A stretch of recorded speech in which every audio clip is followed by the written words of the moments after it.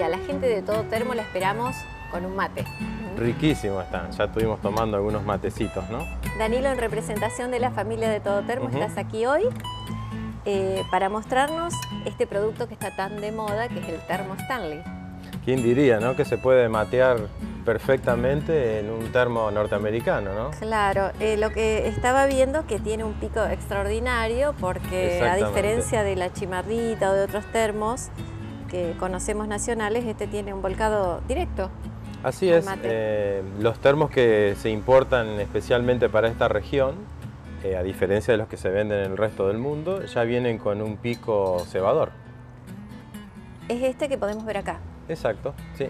Habrás visto que siempre el chorrito de agua, independientemente de, de, la... esté ubicado el termo, de la posición en la que vos pongas el termo, siempre el chorrito de agua te va a salir por abajo y el aire va a entrar al termo por arriba. ¿Este pico es el original? Es el original, exactamente, que viene fabricado para esta región, para cebar. Para cebar mate. Cuando nos encontramos a veces con gente que trae un termo Stanley de afuera con otro tipo de pico. Sí, el, termo, el termo que viene de afuera es exactamente igual, me refiero a la carcasa, ¿no es cierto? Eh, es exactamente el mismo que viene a la Argentina. Lo único que cuando uno lo compra afuera viene con este pico, que es el cafetero. para café. ¿Eh? Vas a ver que tiene dos flechitas, una ranura para la entrada eh, superior de aire al termo y otra para la salida de café. Este no sirve para cebar mate. No sirve para cebar mate porque en cuantito lo moves un poco, ya las ranuras no coinciden y empieza, digamos, a salir muy desparejo el chorro de agua y es prácticamente imposible cebar mate. Sí, o te podés quemar. O, te, te, sale tan de golpe que te podés llegar a quemar. Y en el caso de tener un Stanley con ese pico, ¿ustedes venden este pico matero? Claro, no hay ningún problema porque nosotros nosotros tenemos todos los repuestos originales de Stanley, este, así que que vienen los picos, que son estos, que son los materos, que enroscan perfectamente en los termos que adquiridos en otras partes del mundo. Se venden en forma individual. Y hablando de original, ¿cómo, ¿cómo me doy cuenta yo que es un Stanley original? Es muy, muy buena la pregunta. Es como en los vehículos, que hay un número de chasis y un número de motor. Bueno, eh, cada Stanley en la base trae estampada los datos de manufactura. Están todos los datos de fabricación que serán requeridos en el momento de tener algún problema de garantía, eh, digamos, este, Ah, es esto que nosotros vemos aquí abajo. Exactamente. Ajá. ¿Mm? Estos son los datos de fabricación y que me garantizan a mí que el termo es original. Que el termo es original. Ya no basta con una caja o con una etiqueta sino que tienen que estar los datos estampados en el acero de la base. Bueno, en realidad hay una tendencia mundial a eliminar todo lo que es cartón, caja, sí, por una cuestión de ecología. Por una cuestión de cuidado del medio ambiente, ya cada vez eh, los productos vienen menos en caja. Eh, vienen en caja madre de 4 o de 6 y digamos este, vienen correctamente embalados, este, con una bolsa traen su manual de uso y cuidado adentro, pero digamos para distinguir de una imitación de un original no es este, necesario la caja. Tienen su propio número la base Exactamente, del termo. así es. ¿Y cuánto dura el agua caliente en este tipo de termos? Esa es la pregunta que se hace casi todo en, Sí, casi supongo, supongo que es una pregunta habitual en el negocio. Mirá, en las, en las pruebas que les hemos hecho nosotros, poniendo el agua a casi 100 grados, eh, más o menos a las 24 horas, tomando como referencia el termo de un litro, vas a tener el agua a unos 60 grados, que se considera caliente. Ahora, no es lo suficientemente caliente para cebar mate. Probablemente eh, sean eh, entre 80 grados más o menos. O sea que estimamos que unas 16 horas más o menos es el, el tiempo de conservación a termo cerrado y lleno, porque tengamos en cuenta que, eh, digamos, si vos tenés la mitad de agua en el termo, te va a conservar menos tiempo, y si vos vas eh, vertiendo agua... Cebando mate o exacto, abriéndolo. Abriéndolo, va entrando aire frío adentro que permite la salida del líquido. con cualquier termo. Así que, que a termo cerrado más o menos son unas 16 ¿Y hay alguna forma práctica de prepararlo para que el agua caliente me dure más? Eh, como te decía, en los productos originales viene todo un manual de uso y cuidado adentro.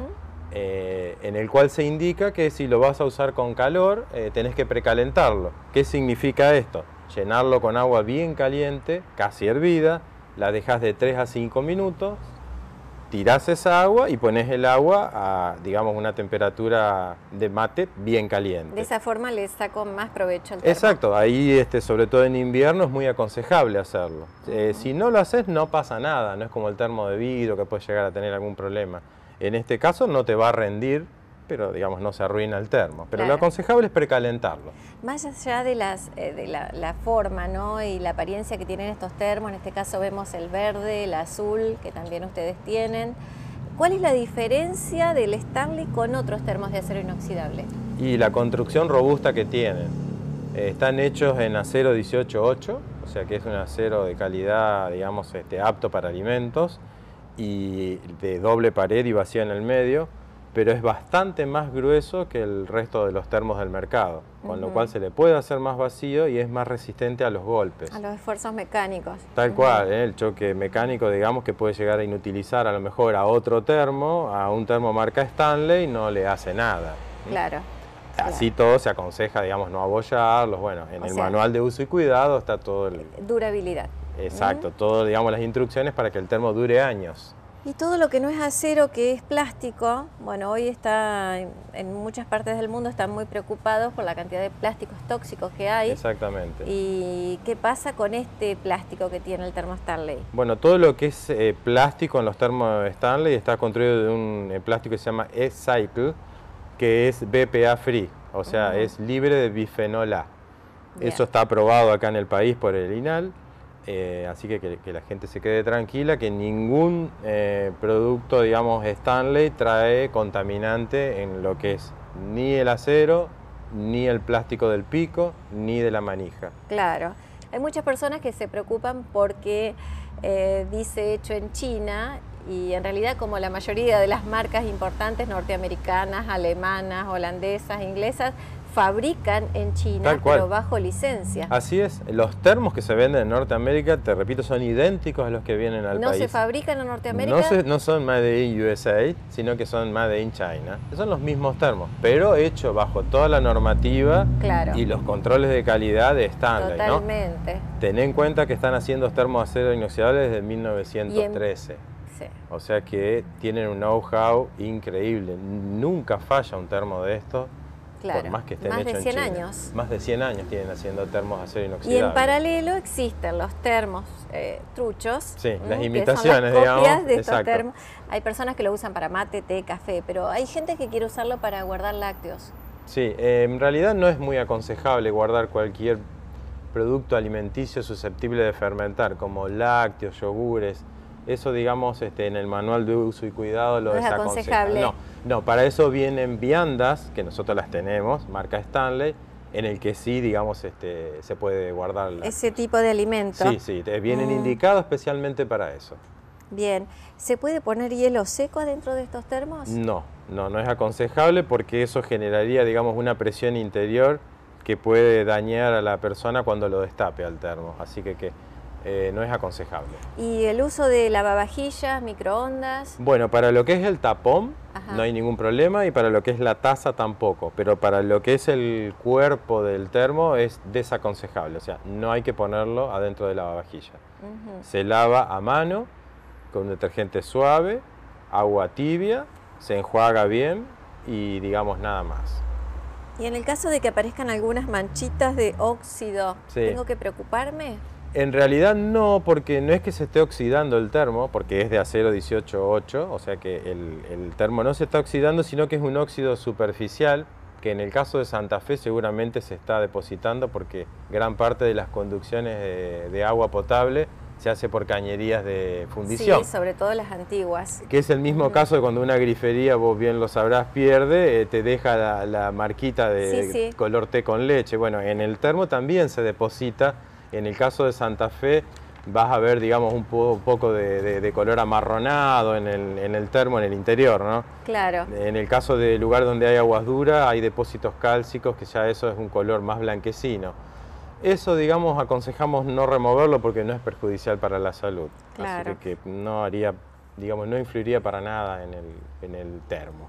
¿Cómo se limpian estos termos? En el caso, digamos, de lo que sea el uso estándar, eh, digamos con agua caliente y un poco de bicarbonato, dos cucharaditas, lo dejas, digamos, a unas horas o toda una noche, después lo enjuagas bien, eso lo va a limpiar de cualquier impureza superficial.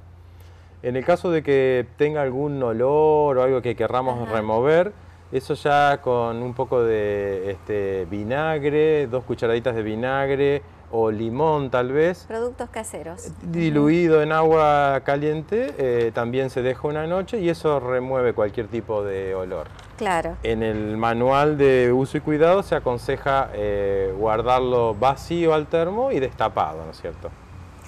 ¿Tienen garantía estos termos? Por supuesto, sí, sí, todos los productos Stanley están garantizados. Igual nosotros los probamos. Eh, todos los termos que se llevan los clientes, eh, aparte, digamos, de la garantía de fábrica, tienen la garantía nuestra, que es el indeleble este que se pega en la base del termo.